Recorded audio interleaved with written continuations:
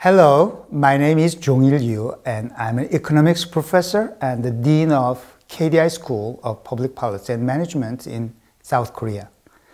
The partnership between KDI School and HHL started in 1999, uh, only one year after the opening of KDI School and six years after the reestablishment of HHL. This relationship reflects our commonalities as up-and-coming institutions of higher education, as well as our shared commitment to academic excellence and cross-cultural understanding. On this basis, we have maintained a productive partnership with HHL.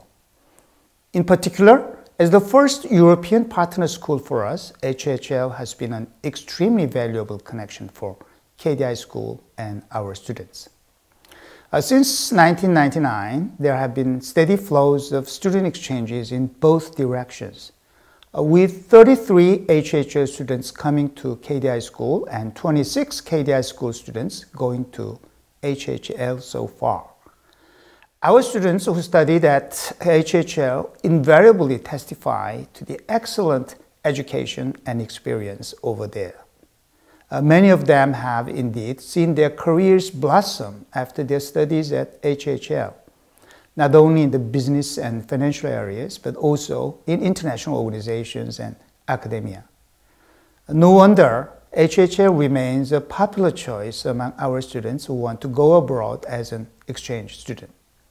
On behalf of all our students who have benefited from our partnership with HHL, I am very thankful to everyone at HHL.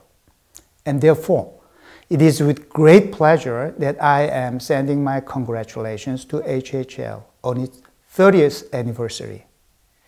Over the past 30 years, we have watched HHL growing to become one of the leading business schools in Germany. I am confident that the future will bring even greater achievements for your students, faculty, and alumni. I wish everyone at HHL a great success in your future endeavors. As a matter of fact, we are celebrating our 25th anniversary at KDI School. So you may consider KDI School a younger brother.